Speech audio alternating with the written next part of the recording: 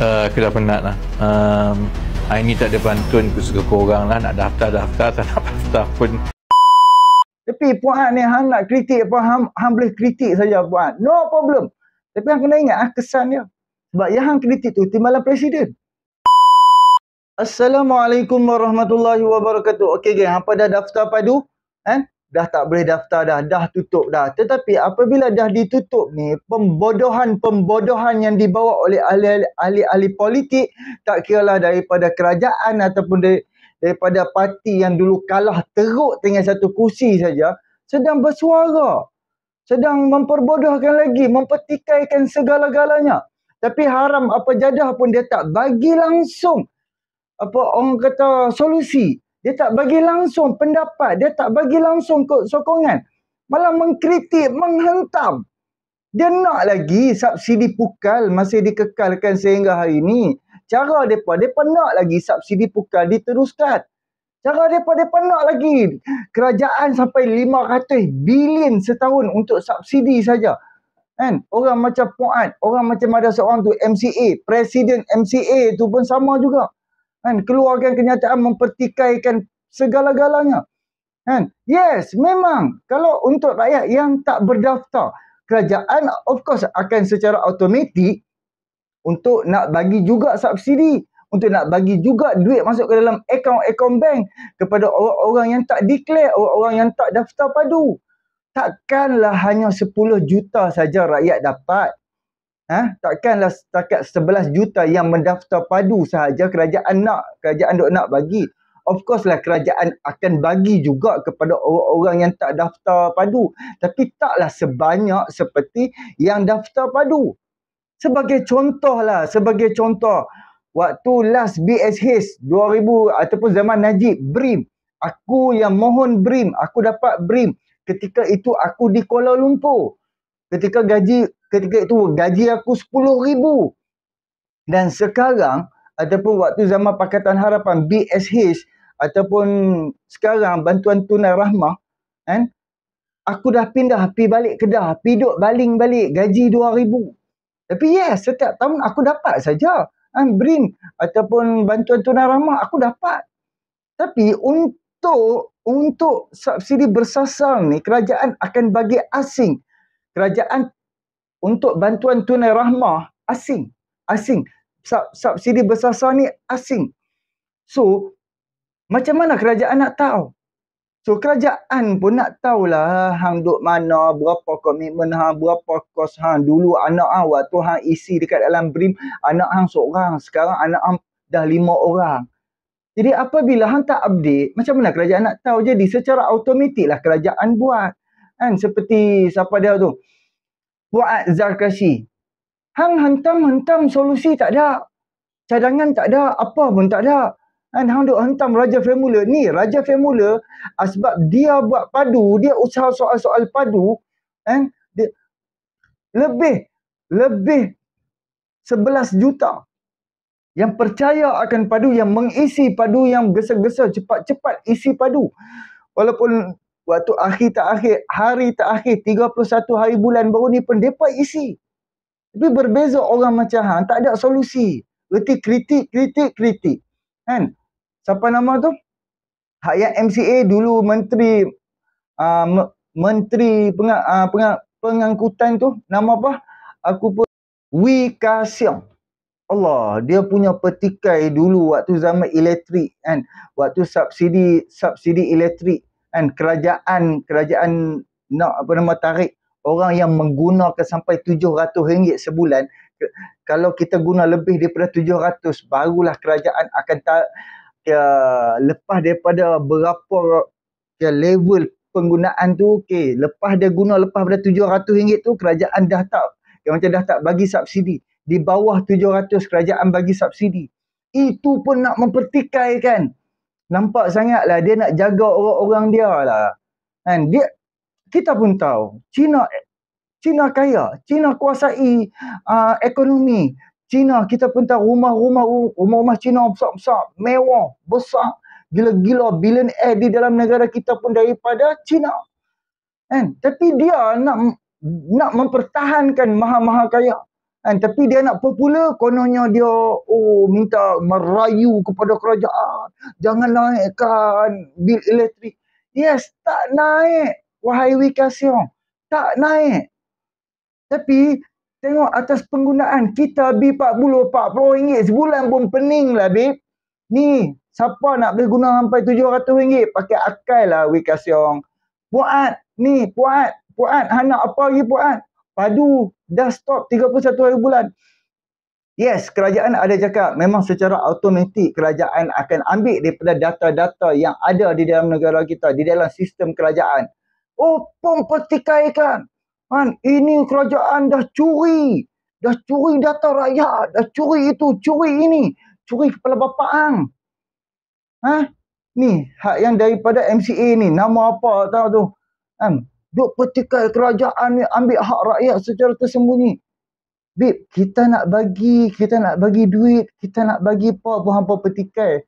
Sedangkan kerajaan duk tengah fikir nak selamatkan wang negara, nak selamatkan duit, duit rakyat, duit negara daripada dibocorkan, dapat kepada pendatang asing, dapat kepada orang yang mai duduk di dalam negara kita, dapat makan hasil subsidi, pun hampa nak menjegik kah? Kita pun tak faham lah orang macam musibat macam hampa ni. Tak boleh nak fikir ke, Bib? Awak, hang tu, nak ke macam kita nak kena lantik pergi letak jawatan apa-apa baru hang nak boleh, baru hang nak habis setuju lah, baru hang nak habis seronok lah. Ha? Aku pun tak faham lah. Kita boleh tengok baru ni Puan ada keluarkan keluarkan kenyataan ni Malaysia Gazette ambil terbukti for, semua formula Rafizi tidak praktikal dakwa dak, dakwa puan Kuala Lumpur rakyat tidak akan lupa angkuhnya ucapan Rafizi uh, semasa uh, pelancaran ayuh Malaysia pada tahun 2022 dikatakan Majlis Tertinggi UMNO. Hang masih nak berpolitik Hang nampak sangat puan, hang masih ada dendam politik terhadap Rafizi. Sebab tu segala-galanya apa yang dibuat oleh Rafizi hang duk kritik sehingga hari ini. Siapa-siapa saja yang masih yang masih walaupun dah bersama tapi hang masih lagi hang masih lagi ada sifat-sifat dendam, buatlah apa pun. Kan? Walaupun padu ni berjaya, rakyat berbangga, puat manusia macam puat ni kan tidak akan tenang dan senang tetap ada dendam politik. Apa UMNO kalau kalau kita dok nak petikai balik lah kan daripada zaman Najib. Najib PM Anwar masuk dalam bib. Kan kalau kita nak petikai soal-soal itu kita nak masih nak fikir dendam-dendam politik Anwar takkan bersama dengan Zahid. Anwar takkan bersama dengan UMNO. Ah, sebab kita letak kita letak tepi dendam-dendam politik. So kita bersama-sama tubuh kerajaan bina balik negara. Dan alhamdulillah hasil berhasil. Pelaburan apa apa peningkatan ekonomi. Kan pengukuhan ekonomi. Mata wang kita kalau berbanding dengan beberapa negara mata wang kita kukuh. Kalau setakat kita bandingkan dengan US dollar memang berbeza tu banyak. Tapi apa peningkatan tu pelbagai dari segi kerajaan hari ini kan? Dan defisit. Kita kita dapat kurangkan defisit dan kita dapat kita tak buat hutang. Dan alhamdulillah kita, ni kita duk dengar kata hutang negara dah turun dah dari, dah jauh daripada 1.5 trilion. Katanya 1.1 ataupun 1.1 lebih hampir-hampir 1.2 trilion. Itu pun puat ni cerita hampa. Dia tak akan bersenang hati. Dia tetap akan ada perasaan dendam, sakit hati, iri hati. Terutama kepada Rafizi. Tak mana Rafizi. Waktu dah berkempen. Puluhan ribu habis. Buat apa buat dia punya data ataupun cari maklumat buat uh, buat soal jawab di media-media naikkan call rakyat-rakyat apa semua kan Lepas tu buat orang panggil pool, undian. Ha, rakyat mengundi siapa di dalam Facebook lah, Twitter lah, apa semua. Tanya rakyat, sistem tu dibuat oleh Rafizi. Pun bila macam kita dah dapat apa apa keputusan daripada media-media sosial melalui usaha Rafizi Rambi, dia memang mendapatkan hasil. Waktu PRU 14, puncak UMNO tumbang. Rafizi cakap kita boleh menang PRU 14. Dia dah buat undian dekat media-media media-media sosial. Yes, Pakatan Harapan menang. Dan apabila PRU 15, Rafizi cakap antara 80 80 ke 90 kursi itu insya-Allah kita dah boleh pegang di dalam tangan. Insya-Allah sampai ke 100 sampai ke 100 kursi kita apa kita dah boleh pegang. Alhamdulillah kita dapat 82. Jangkaan Rafizi tu ada antara 80 ke 90. InsyaAllah akan dapat ke 100 kursi. Ya Alhamdulillah kita dapat 82. Jadi asbab apa yang Rafizi buat, apa yang Rafizi usaha tu memang mendapatkan hasil. Kan? Sebab tu dia ada sakit hati sampai hari ni. Dan dua dua hari bulan 2 April 2024 Puat ada keluarkan juga pernyataan daftar padu automatik curi data pengguna Puat dia boleh kata kerajaan curi data pengguna babe apa guna kerajaan ketua kerajaan dan di bawah kerajaan ada kementerian-kementerian dan kesemua kementerian ini dikuasai di bawah ketua kerajaan adalah Perdana Menteri So, apabila orang yang tak daftar padu, takkan kita nak abaikan dia? Takkanlah orang yang tak daftar tu langsung tak dapat apa? Jadi sebab tu kita suruh isi. Bila isi sekarang 2024, of course, kerajaan dapat tahu apa yang update yang terbaru. Dulu ada anak satu, dah ada anak tiga, empat, lima, enam. Dulu dulu duduk rumah sewa, sekarang dah ada kediaman sendiri. Kan? Dulu Dulu dah ada rumah, sekarang duduk di rumah sewa. Dulu kerja kita dekat, sekarang ni kerja kita jauh. Faham tak? Dulu gaji kita banyak, sekarang gaji kita sikit. Dulu kita tak ada hutang, sekarang kita ada hutang. Dulu kita dulu kita duduk rumah sewa, sekarang ni kita dah beli rumah, kita dah ada kediaman sendiri. Tapi kita duduk kena bayar hutang loan rumah. Muat ni ya, kan. Kita pun kadang-kadang mental pemikiran dia. Bukan nak kata. Kita minta maaf sangatlah kepada orang-orang UMNO. Memang aku harap hampa, kira hampa pun faham lah kritikan aku terhadap Puat ni kan. Sebab dia, pada aku dia membodohkan rakyat. Apabila dia kata padu automatik curi data pengguna. Kuala Lumpur, ahli MKT UMNO kan buat mempersoalkan tindakan mendaftar rakyat secara automatik di dalam pangkalan data utama ahli Dewan Undangan Negeri Adun Rengit itu mempersoalkan sama ada langkah yang diumumkan ketua perang uh, perangkawan Datuk Seri Uzir Mahidin bukan Muhyiddin Mahidin ha. boleh dianggap sebagai mencuri data pengguna Muhammad Puat juga mempersoalkan sama ada langkah ter- tersebut merupakan langkah terbaru Menteri Ekonomi Rafizi Ramli kerana berikutan selepas tiga bulan dilancarkan hanya separuh warga negara membuat pendaftaran. Ketua Perangkaan Uzir kata pendaftaran automatik akan dibuat bagi yang belum daftar padu. Rafizi memang raja formula. Macam mana macam mana Rafizi dapat formula daftar automatik? Tak mungkin curi data. Tiga bulan kempen padu 10.6 juta. 10.6 apa? 11 lah Puan. Kan?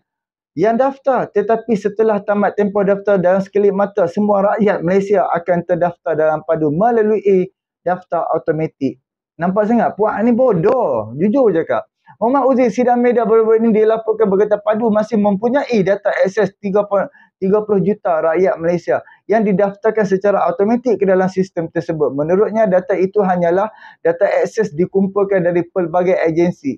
Beliau bimbang keciciran berlaku apabila mereka mereka yang hanya mempunyai data namun pada masa pada masa sama memaklumkan jumlah tersebut mungkin agak kecil.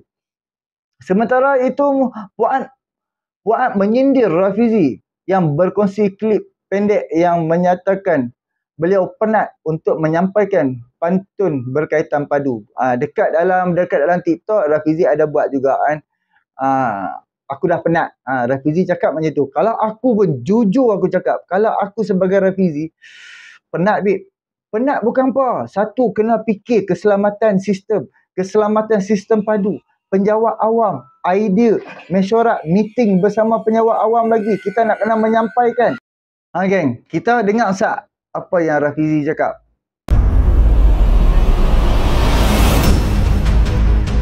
Pantun apa yang ni? Uh, aku dah penat lah. Um, hari ni tak ada pantun aku suka korang lah. Nak daftar-daftar, tak nak daftar pun pandai-pandai lah korang beraya. Okey geng, nampak sangat Puat ni dia tak main media-media media-media sosial aku. Aku rasa mungkin dia hanya main dia hanya main Facebook. Cara mana rakyat dia buat spekulasi terhadap padu ni. Tangan mana daripada cerca padu, daripada hina, fitnah macam-macam padu ni. Baru daftar terus ramai orang call dia lah apa semua lah kan. kan? Lepas tu sama hak yang Wika Siong kan. Baru ni Rafizi kata memang ada berjuta hak, hak yang duk hack uh, padu ni. Kan? Takkanlah satu pun tak boleh. Kan? Tapi kalau bukan nak kata bila orang yang tahu IT, komputer macam sistem kita keselamatan keselamatan sistem sudah pasti dia tahulah cara macam mana keselamatan safety safety di macam setiap aplikasi ke ataupun setiap setiap data-data kita macam mana kita duk nak jaga di dalam laman web ataupun di dalam internet di dalam dunia ni of course lah bila macam orang boleh tahu kita punya macam kita punya peribadi of course boleh boleh berlaku ugutan boleh berlaku pelbagai Kan tiba-tiba ada orang kau duk ugut, okay, anak ah, nama ni, nama ni, nama ni. Tak ada pun orang yang orang yang kena scam apa semua dia duk cerita anak dia nama sekian sekian sekian sekian. Oh dia duduk di mana, dia ada itu dia tak ada. Semua scam duk cerita, ah, okey, pos pasal kamu ada dekat Port Klang, ada dekat pejabat pos mengatakan ada dadah lah, ada itu, ada ini. Tak ada pun. Semua duk cerita orang duk call. Babe, nombor telefon scammer tu duk tekan-tekan sesuka hati je. Kan? Yang mai yang mai mai sejahtera tu hampa tak mau petikai pula. Ha? Beratus juta nak buat laman web mai sejahtera saja abi ha? Jadi tak apalah kita sambung apa hak yang dikatakan oleh puak ni dan uh, kan tadi kan video hak yang Rafizi kata penat kan? Yang aku tak puak ni mungkin dia tak tahu apa pembangkang puak-puak puak-puak Perikatan Nasional daripada cerca daripada hina Rafizi daripada hina padu usaha-usaha kerajaan untuk nak buat subsidi bersasar dengan menipu rakyat. Kata apa kata tak dapat subsidi dah lepas ni apa semua. Padahal hak yang yang duk menjerit, yang duk merungut tu bukan kaya pun nak abang pergi gambar. Bukan kaya pun tapi duk merungut macam oh jadi tak apa, jom kita sambung.